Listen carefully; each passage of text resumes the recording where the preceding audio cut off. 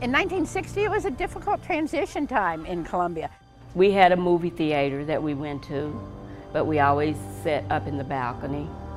And if I wanted to get an ice cream cone and I'd walk in the front door, I'd stand right there at the front of the counter. I couldn't sit down. Now, Stu would be sitting there, but I couldn't sit down. And then she'd tell me, she's, we'd play this little game. She'd come and tell me, I can't serve you up there. And I'd have to walk down to the end of the counter on the other end, and she'd bring me an ice cream cone then. But she wouldn't serve me a front. Now, that's crazy. See, in Columbia, all the black people lived in basically a, probably a 14 block radius.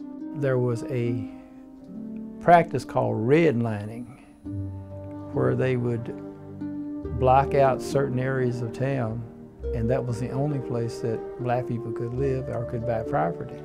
I did not have the opportunity as a child to know a lot of black people. I just didn't uh, because we were pretty much separated.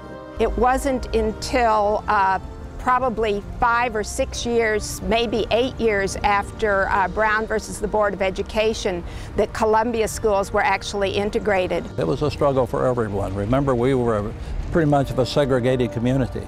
Uh, people felt like uh, a segregated community, and they didn't quite know how to accept each other. Either way, blacks or whites. Back in the days of the movement, you know, you had your, your ministers uh, who were leaders, you had your NAACP leaders, you had your activists, uh, it, it, you had your marchers and your protesters. Uh, you even, uh, toward the mid-60s, uh, started developing more radical uh, approaches to, to change. Eliot, I don't believe, fit in any of those molds. He was a person who could bring individuals or groups together to common ground, which may not have been possible were it not for his unique style.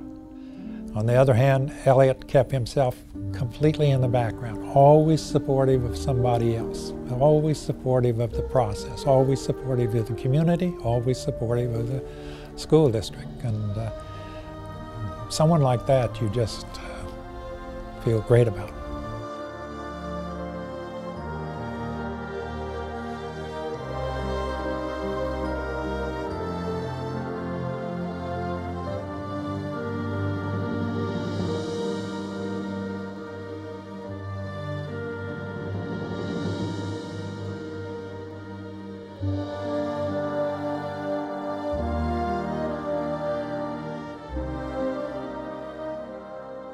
Almost 90 years following the Civil War, America was dominated by racial segregation, with separate schools, facilities, and even separate communities for black Americans. The 1954 Supreme Court ruling, Brown versus the Board of Education of the city of Topeka, Kansas, brought the legal end of school segregation, but changing the law did not immediately change our schools or our communities. Even in 1957, the desegregation of the Little Rock Central High School was blocked by Arkansas Governor Orval Faubus. On September 2nd, the night before school was to start, Faubus sent his state's National Guard to surround the building and physically block black students from entering. After a failed deal with President Dwight Eisenhower, Faubus withdrew the Arkansas National Guard from the school without supporting the peaceful integration of the black students. A full-scale riot broke out when the black students returned. The president had to intervene. On the evening of September 24, 1957, Eisenhower told the nation that by Executive Order 10,730, he was deploying elements of the 101st Airborne Division from Fort Campbell, Kentucky, and that the Arkansas National Guard was being federalized in an effort to end the conflict. The interest of the nation in the proper fulfillment of the law's requirements cannot yield to opposition and demonstrations by some few persons. Mob rule can not be allowed to override the decisions of our courts. The proper use of the powers of the executive branch to enforce the orders of a federal court is limited to extraordinary and compelling circumstances. Manifestly, such an extreme situation has been created in Little Rock. This challenge must be met and with such measures as will preserve to the people as a whole their lawfully protected rights in a climate permitting their free and fair exercise. If resistance to the federal court order ceases at once, the further presence of federal troops will be unnecessary, and the city of Little Rock will return to its normal habits of peace and order, and a blot upon the fair name and high honor of our nation in the world will be removed. That blotch on America did not quickly go away. Until October 25th, one month after federal troops first escorted the Little Rock Nine to school, the black teenagers still had to ride in military vehicles. After that, they still faced a barrage of verbal abuse, harsh treatment, and confrontations. Desegregation caused much turbulence across America, with riots, protest, and Klan violence. Yet Columbia, Missouri made a quieter transition. When asked why, many community leaders point to the efforts of a high school counselor and his family. That counselor was Eliot Battle. My father's uh, father was uh, named Battle, of course, same as mine, but his father was not uh, Battle. His father was a man named Sorsby, who had come from Scotland and who fathered my grandfather with uh, Edith Battle. So my grandfather on my father's side took the name from his mother. But that didn't stop him from being an achiever. He was a determined man who uh, was a blacksmith, but a man who was his father gave a lot of assistance to him to educate his children. As a, as a boy growing up, in early years, of course, I was born in 1924, and that was during pre-Depression and Depression time. It was a little bit tough, and both parents uh, worked at that time, the public schools didn't have teachers in the black schools that were all uh, degreed. So rather than send us to schools where the teachers had high school diplomas and were working toward degrees, they sent us to the Lutheran school and paid tuition where teachers had uh, training. We went to segregated schools. We went to separate uh, churches. Everything was, we, we lived in a totally uh, black area of, uh, of the city. My dad did not let us get on the streetcar and ride uh, the streetcar because we had to sit on the back of the car when we'd get on. So we, all five of us, my brothers, sisters, and I, walked pretty fast because we were determined that we had places to go and we really moved to, to get to those places as a result of uh, the necessity of doing so. So we we all had a very fast uh, pace with our, with our walk as a result of segregation. Well, I knew Muriel, well, I knew her parents uh, when I was growing up.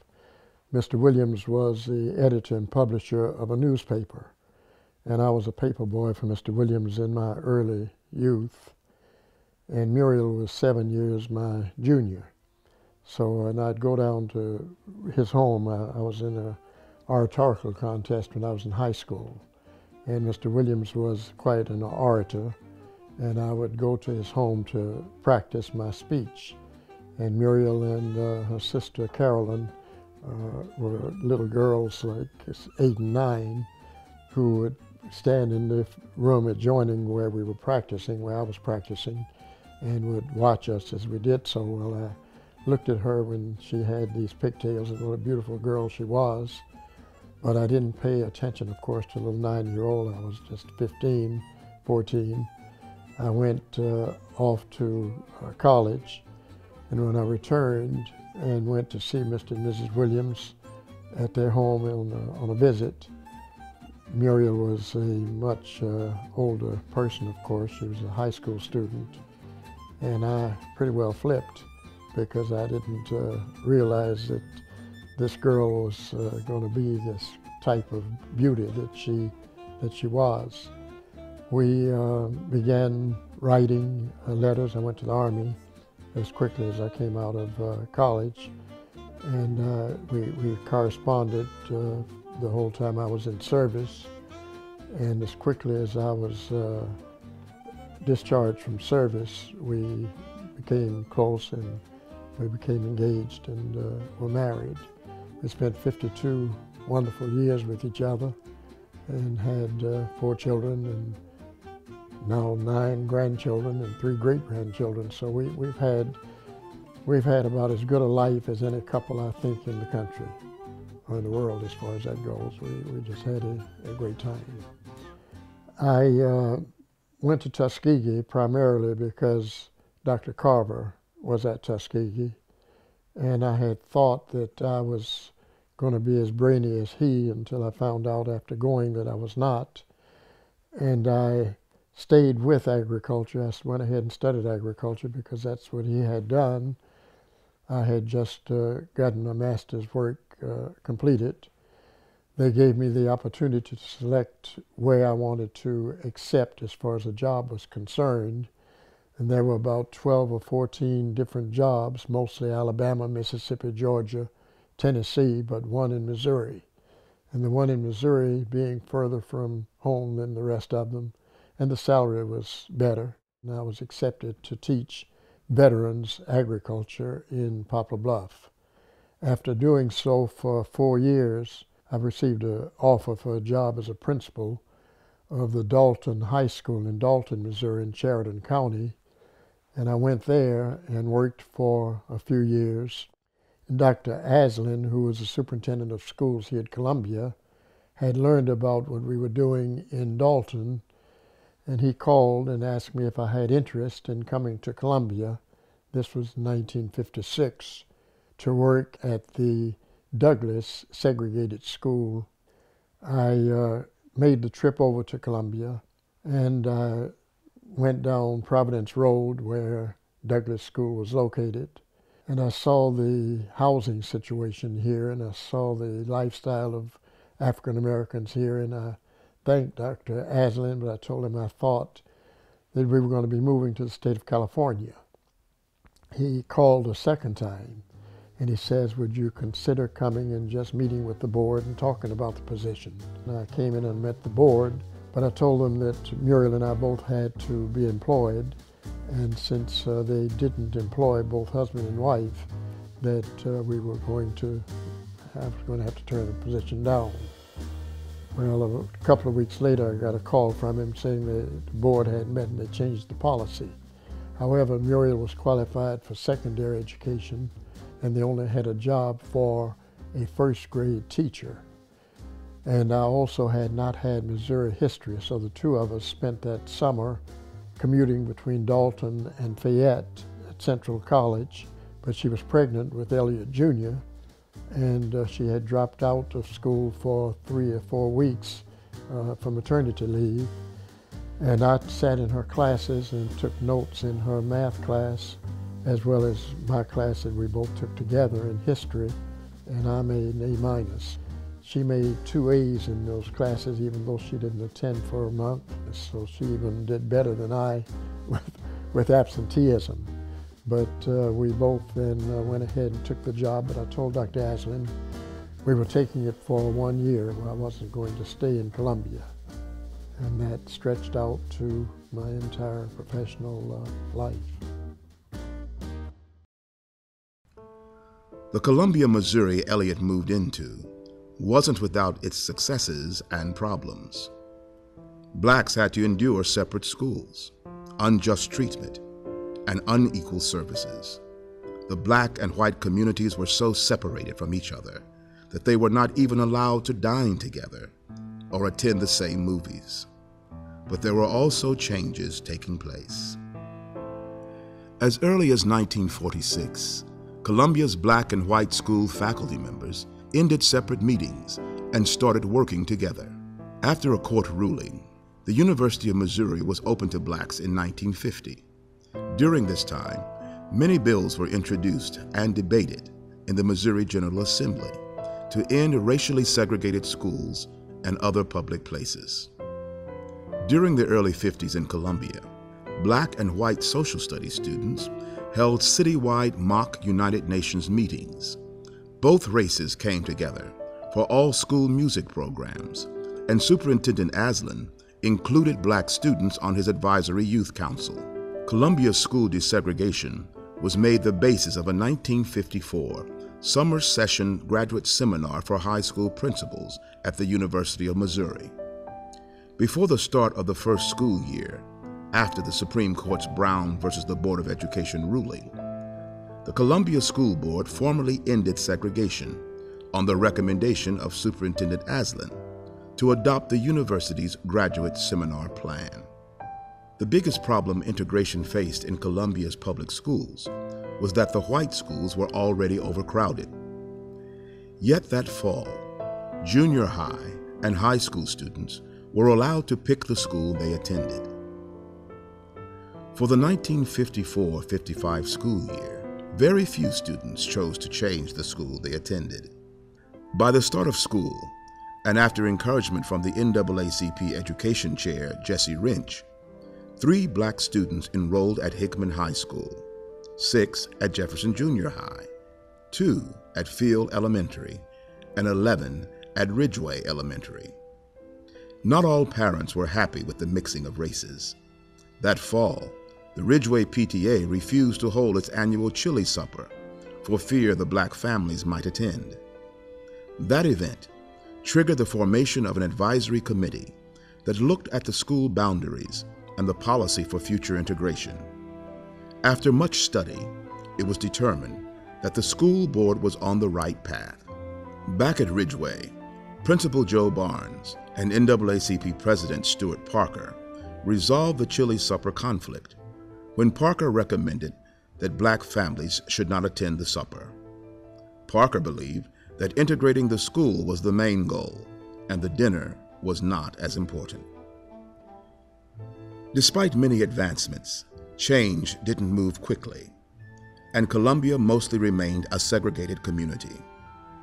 According to a 1958 school report, black enrollment at Hickman and Jefferson Junior High remained at about the same level as 1954.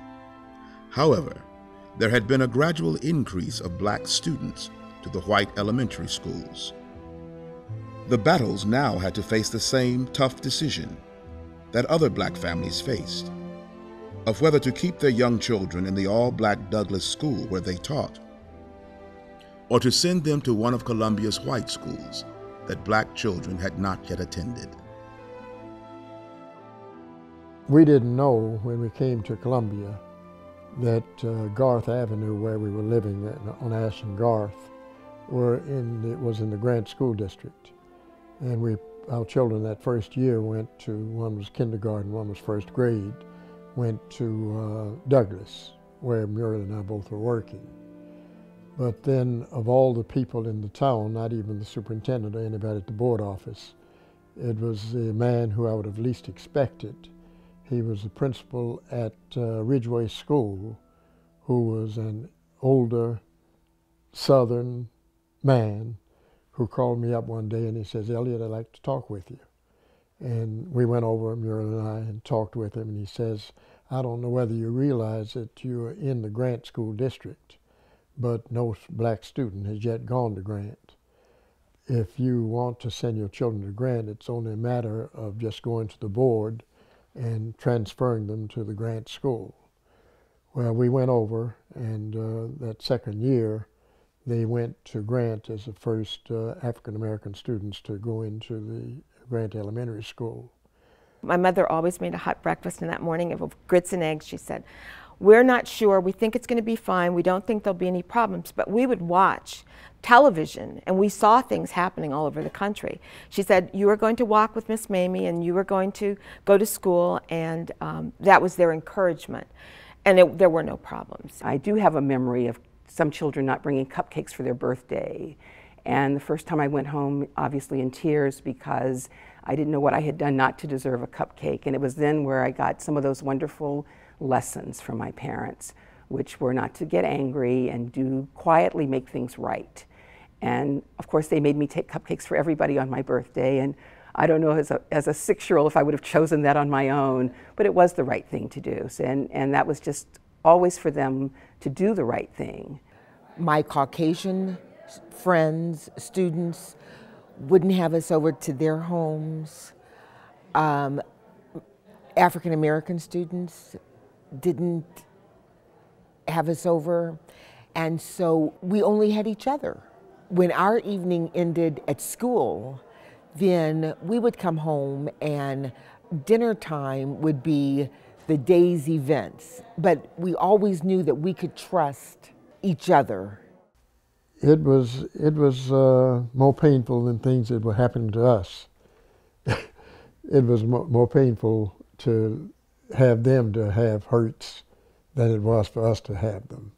Uh, when they came in and had uh, kids that had said, called them names that were negative, uh, and we told them, well, it can't hurt. Uh, just don't call them, don't, don't be that way with them. Just realize that in time they'll, they'll change. And if you can help them to better their own uh, situations by uh, ignoring that kind of behavior, it's going to be better for them in the long run.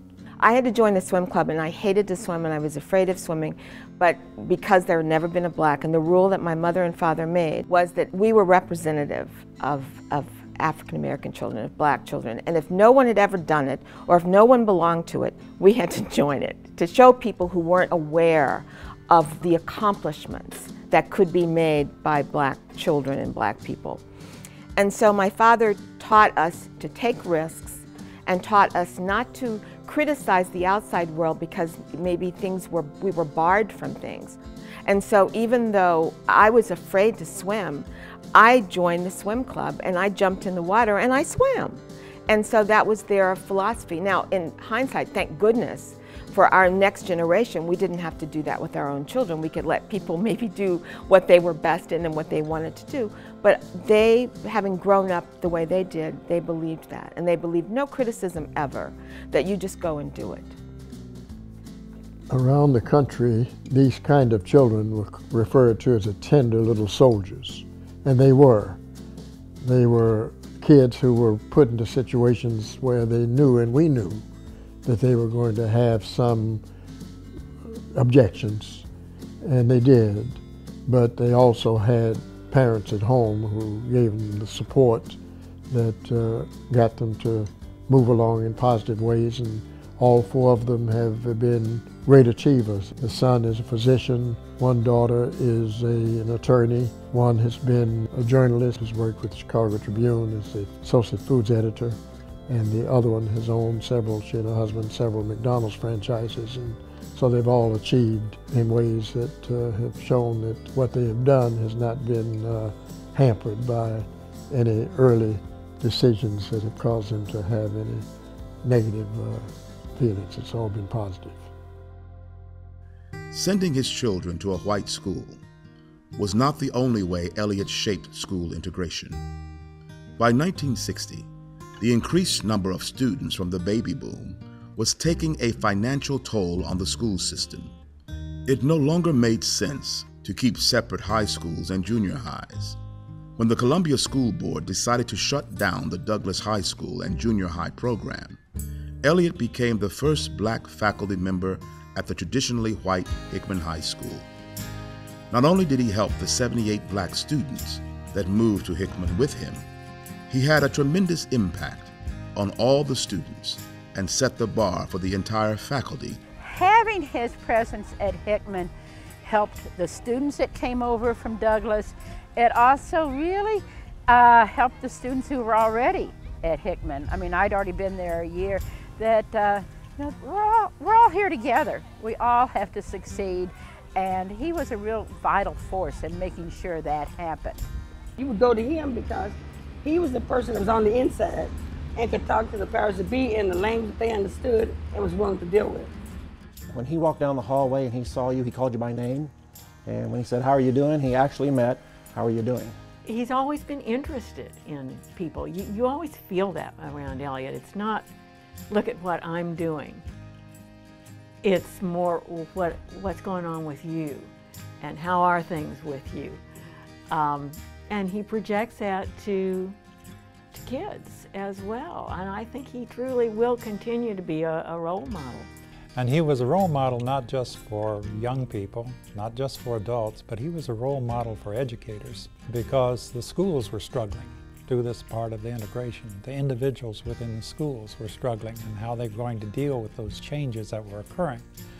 Everyone could talk about it, but then when it came time to play the game, it became much more difficult. And I would say that Eliot was the linchpin for desegregation in this community. It, uh, there was a very intense period of time, as I recall, and each time Eliot smoothed the waters and just kept us on track. You didn't have a lot of black administrators and teachers in the community uh, who had the ability to talk to superintendents and then come back and talk to parents in the community. And that was a tremendous strength, which, which made, you know, uh, integration here in this town uh, a lot easier.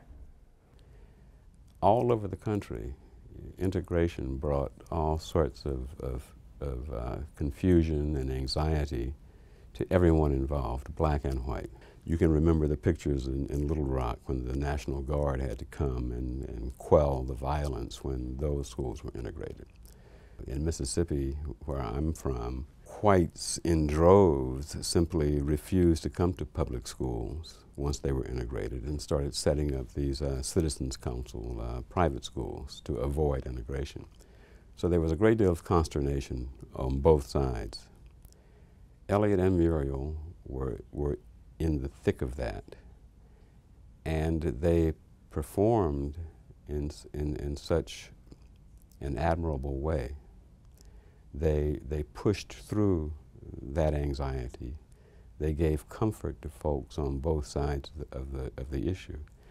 And I think in their, in their quiet way, uh, they, they carried Columbia through that tumultuous time uh, in a way that allowed it to happen without a great deal of uh, disruption and violence. When I went to Hickman from Douglas, there were 78 students who went with me from Douglas at that time.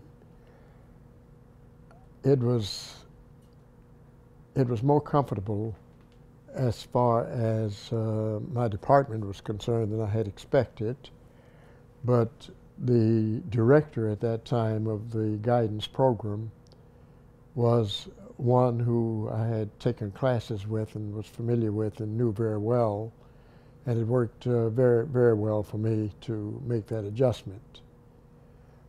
One of the problems that I had was that there was there was not much love on the parts of some of the Douglas faculty that I was going from Douglas to Hickman as the only black faculty to be integrated at that time. And one of the teachers who taught social studies at that time taught the students that I was a traitor to the race for having made that transition. So I not only had to close that gap with the students who came in with a negative feeling about me as an individual, but then I also had to uh, do the regular uh, work with them of, of integrating and making sure that they were really making the adjustments to the school that they would want to be making. There were a few problems as far as faculty were concerned. That people who did things that they typically would not have thought of doing to hurt anybody, but they did it thoughtlessly. There was one social studies teacher who allowed a student to put, well, he himself put up on the bulletin board some facsimiles of, uh, he was teaching Civil War history, and he put uh, signs up on the bulletin board that had uh, niggers for sale. And when the black students walked into the classroom and saw such uh, signs, it really created uh, furor, and naturally so. They walked out of the uh, class, and of course I had to help them to realize that this was a blunder and something that he, he this particular teacher shouldn't have done. He was a young teacher, and I think he he was doing something that he thought was uh, was good, having uh, examples of what had occurred back in the past. But for those students, it was far from far from good. When it came time to actually make the the, uh, the change from closing the Douglas School, which was in fact the all-black school at uh, at that time, Eliot Battle again went to Douglass to describe not just to the to the Caucasian population, the white population, but to the population of Douglass, why they did want to come to Hickman High School, why they did want to be part of this uh, process. Students uh, were separate in, uh, in, in cafeteria. There were black students who sat separately from white students when they go to eat. And of course, my first thought was this ought not be happening. We ought to be able to go in the cafeteria and see white and black all together. And I remember talking to some of the students at the beginning, and they said, Well, we're with our friends. And I thought, Boy, that's true. They are with their friends. Why fight something that uh, is is, wrong? I, I was trying to do things too quickly and trying to cause integration to occur physically when it wasn't uh, a ready thing. They had to develop a friendship before they began to uh, really mingle with each other. And those first years are really interesting. Blacks would try out for cheerleading and wouldn't make it. There was uh, great concern at Hickman High School about having an entire white cheerleading crew because they were elected at large. Cheerleaders at Hickman High School were elected at large by the student body. Then Eliot and Muriel Battle suggested that uh, we have judges, but that came hard. That came difficult as far as the community was concerned. And I recall one incident in which we had a group meeting, community meeting, uh, in which uh, we, they met at Hickman High School. And uh, the arguments and the venom that you felt from some individuals in the audience, feeling that uh, you, it should be the role of the student body to elect the cheerleader, something as simple as that. And yet, uh, it was uh, Eliot that gently described the process, worked with the students, and brought us to a, a point where we could include everybody in that process of becoming cheerleaders. You ask for your classes at the beginning of the school year, and they assign you classes. Then you get a, a second alternate and third alternate in case you can't get the class that you want. This was like a third alternate. I, I didn't want the class. I didn't like it. wasn't interested in it. So I went in and, and spoke to him, and I, I, remember it like it was, was yesterday. He had a smile on his face. He says, "Okay." He says, uh, "What would you be interested in?" And I said, "Well, I said I like uh, I like reading novels. I like writing, something like that." He says, "Well," he says, "we have a class." Uh, American novel, uh, an expository composition or something, something like that. He said, do you think you'd be interested? I said, yeah. I said, I, I, I think I'd be real interested. So he, he gave me a, a pass. And I went up to the classroom, uh, handed it to the teacher, and the teacher looks at it and says, well, we don't, we don't have any room here. You, you know, there's no room in this class. I can't, you know, there's no more desk. You, will have to find another class. So I went back down the stairs, went, saw Dr. Battle again. I said, uh, well, Dr. Ballai says, she says the class is full and they don't have room for me. He says, hold on a second. He gets on the phone, he calls a custodian up and says, uh, meet me at, I think it's 216. He said, meet me there with a desk. So we go back up there and we wait and here, here comes this janitor bringing this, this desk in and uh, he knocks on the door and says, I have a desk here for Mr. Philippi. And we put it back in the back and he says, if you have any more problems, let me know. So I got my desk and I, I got into the class and I did, uh, did fairly well in the class, enjoyed it on it, uh, and uh, that, that, that's just what he did. You know, if there was a problem, he, he solved it. When I first found out that I was pregnant, um, of course I was terrified and didn't want to tell my parents because, you know, at that time they expected a lot more from you. And um, I hung around with some of my girlfriends at school. I told them, and they wanted me to just kind of push it and just keep going. And I said, no, I, you know, I, I, can't because first of all, I'm embarrassed. I was embarrassed to tell my parents. Um, I was working actually. This is really funny. I had this little gray dress, and it was the only thing that I could still get into. and it had buttons going down the front. Well, the buttons had started to pop off. so finally, I used my sister, actually, my oldest sister. I told her I could confide in her. And uh, I told her that I was pregnant. And she just kind of looked at me and she kind of teared up a little bit. I teared up. And then uh, I asked her if she would tell my mom.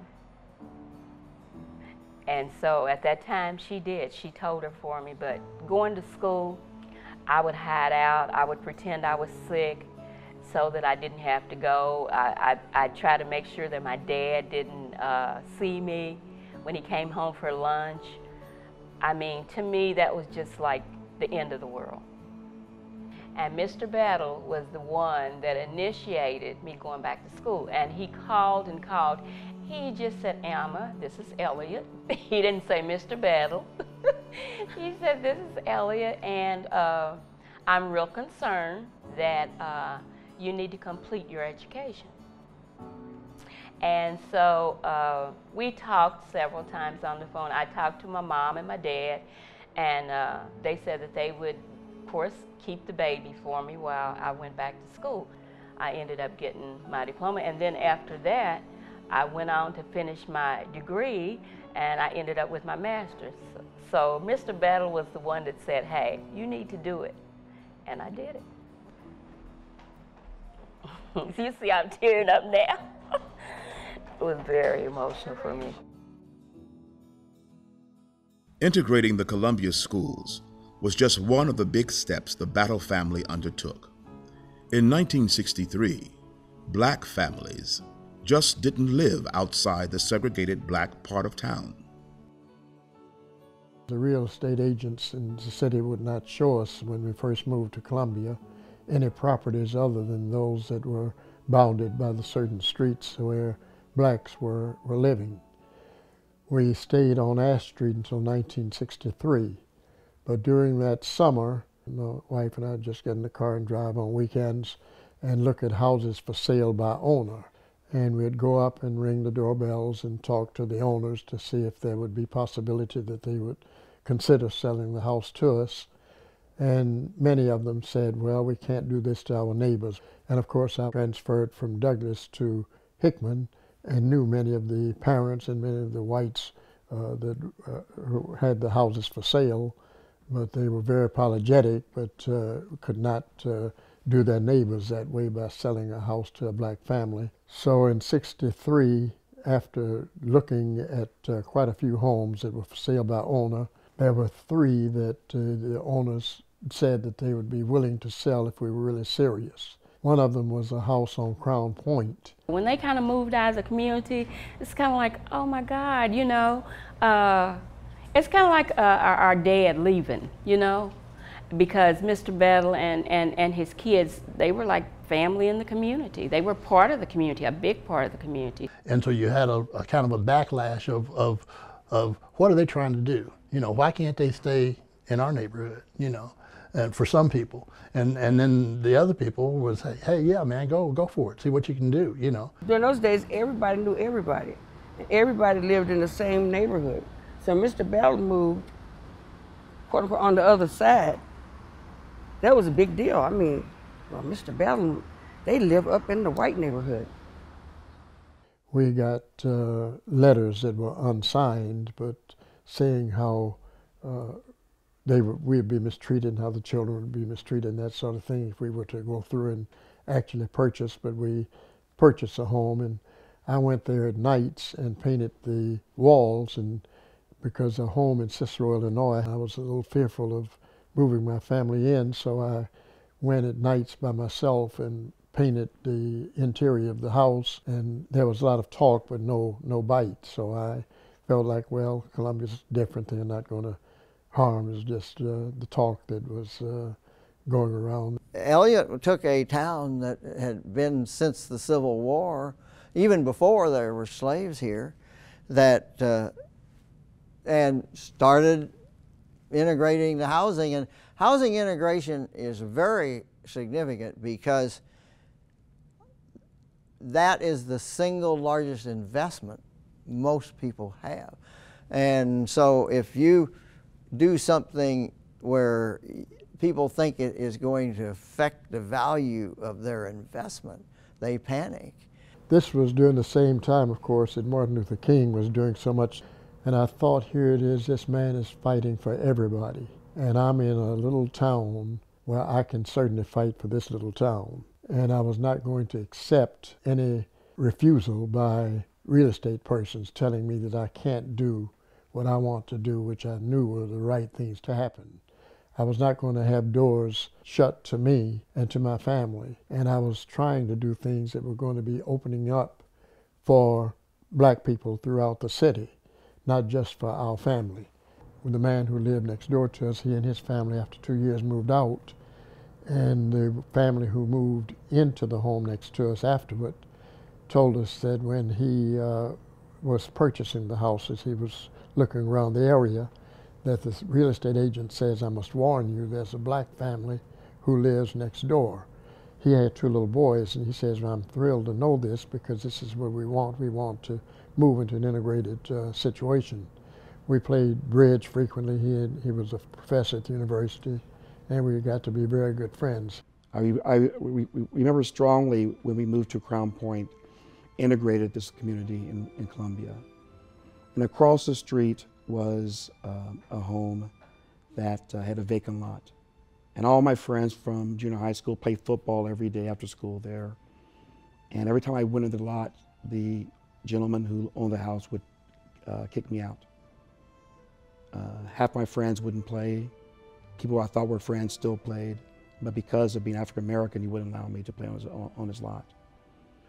I, my father gave me a dog, Bingo, when I was, when I was born. My, my collie dog was with me my entire life. When I was 13, I was walking the dog without a leash. He ran across the same man's home. The man came out with a rifle, shot him in front of me. It, it pained. It pained when, when he had a dog to be shot by a neighbor.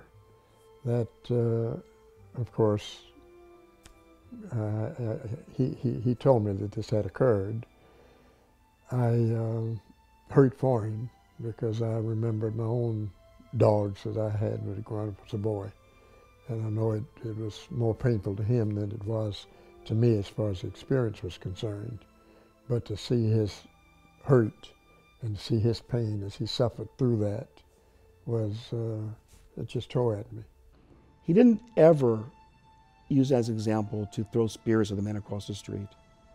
He didn't use it as an example to make me hate or angry. He used it as an uplifting way for me to view life. And that's a, a microcosm of who my father is. I have never seen my father in 53 years of age be angry. I've seen him strongly defend. I've seen him discuss with, with emotion, but never with anger. I guess I, I, I thought about uh, Dr. King. I think that uh, it, it, it strengthened me. I just uh, decided, well, why fight something that uh, it, it's really not, not worth it. It's, it's an animal, it's, uh, it was his, but it, it was something that it's bringing back thoughts now that uh, are painful. But I, uh, I, I, just toughened up. Eliot Battle's calm demeanor and work from within the institutions and systems of Columbia made him a valued resource his efforts even gained the attention of many state and national leaders. Throughout his career, Eliot has been asked to serve on many boards, such as when Missouri Governor Joseph Teasdale appointed him in 1977 to the Missouri Advisory Council on Vocational Education. In lifelong efforts, like his involvement in the Columbia, Missouri Minority Men's Network, he has always worked to improve the world around him through service. And more than anything, Eliot stayed focused on building a better tomorrow for all through understanding and education. I think that one message that he certainly stands for is the importance of learning and how beneficial it is for young people to continue their education. Well, one thing I, would like to share is, is something that's lighthearted. That is, as he was here in an office just across the hall from my office here when I arrived in 1995, uh, you could see students coming to him, minority students, white students, all kinds of students coming to him. And uh, one day I, I asked Eliot, uh, what is it that draws these students to you all the time? The door opens and closes so often. And what I come to find out was he gave great advice. He was an advocate for these students, there's no question about it. But in addition, he had on his desk a jar of candy orange slices, which when you were walking by, you could not, even if you were in a hurry, you could not help but open the door, grab an orange slice, and go on. Uh, but it was it, it, wasn't a gimmick on his part. It was really, I, I think, uh, uh, providing an opportunity for students to be relaxed in coming in there. Have an orange slice. Uh, let's then let's talk about why you're here and that sort of thing. Eliot was a bridge person, and oftentimes people who are bridge people are those who stand in the gap, encounter quite a bit of conflict or resistance on both ends from both races. So Eliot had to be a black person to endure being the leader and receiving, shall we say, negative response from the majority community here. At the same time as he stepped out to lead the way to integrate the schools, he was also met with negative reaction by the minority community here. And so thus he had to be a special individual to provide his own sense of support and sense of uh, stability going through that period. He has just been a, uh, a person, a resource, an invaluable resource. Uh, to our community. As I said, not a person who you would uh, see out there on the front lines in the headlines um, as we were uh, doing activities, but he was someone that we always knew that we could depend on him to come up to help us with the resources in the area in which we were working in. And so the NAACP being uh, one of those for uh, advice, for historical advice, etc., he's just been there. He was the kind of guy who would move into any situation and simply do it better than anybody else. If an individual had the capability and they weren't exercising that full capability, he'd kick them right in the pants he was just always the kind of guy that said, hey, if you work hard at it, you can get it done, no matter what it is. I think fighting from within is the right way to go. I think that the only way you're going to make change is to be a change agent. You're going to be in there working with the powers that be. I'm sure that Muriel and I both have served on probably more committees and have been involved with groups about as much as any other one person in in the city, primarily not because of our love for being out front doing stuff, but because there's a need for your attendance, your participation in order to be heard. I think if you're part of a, a board and discussions come up, you can speak out and defend and get, get people to think differently. I was brought up in a family that always believed that we had a responsibility, we had a commitment to become the best we could be. There was no point in my life I ever felt they said, accept me for who I am. It was always become a better person. It sounds, I'm sure, really horrible to say that we were not allowed to fail. But mom and dad expected the best from us. And it, as long as we did our best, then they felt that they could ask for no more. And I think each of us would have been so embarrassed to not try as hard as we could. I think of being humble and people who know me might not know this part of me. They might say, well, she's not humble. But my father, my father um, always insisted that we understand that we were no better than anyone and that your education, where you lived, none of that made any difference. That every single person on this earth um, was we were equal to, and that if someone didn't have something, that we were to feel compassion. We were all really taught how to communicate in a way that got you the success without being disrespectful to anybody, and even having people who thought they were your enemies walking away, not feeling disrespected or angry. You know, my parents were educators, they were teachers, and didn't have much money, and they had four children. And my father would go to the store and buy electric fans. And he would drive around and go visit people he knew from the church. And he would go in, and a lot of homes were hot. And he would come back and get a fan and bring it in as a gift. And those are the kind of things that, that he taught me that are the most important, I think, that he taught me. I was not one of the ones who walked the streets and uh, fought publicly. I did more uh, uh, personal kinds of assistance with change.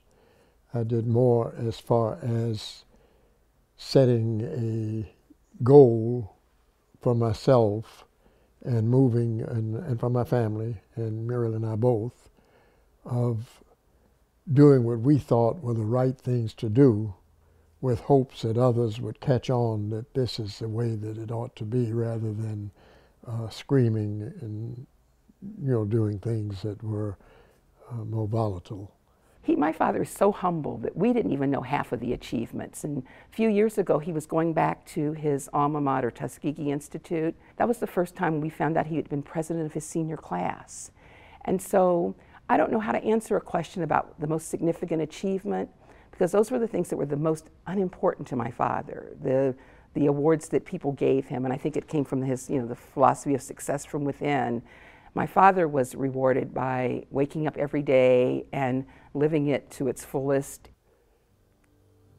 I was I was president of my senior class when I was at Tuskegee, and that was that was leadership of a sort. But leadership means decisions to do things as things ought to be done with hopes that others see what you're doing and follow some of the examples that you that you set. Leadership is is being really a true person to yourself. Leadership is more than just than, than just uh, standing before a person with a gavel. Using a gavel to close or open a meeting is uh, directing, but not necessarily uh, leadership. Leadership is setting goals and following through with the goals that you set and keeping them positive.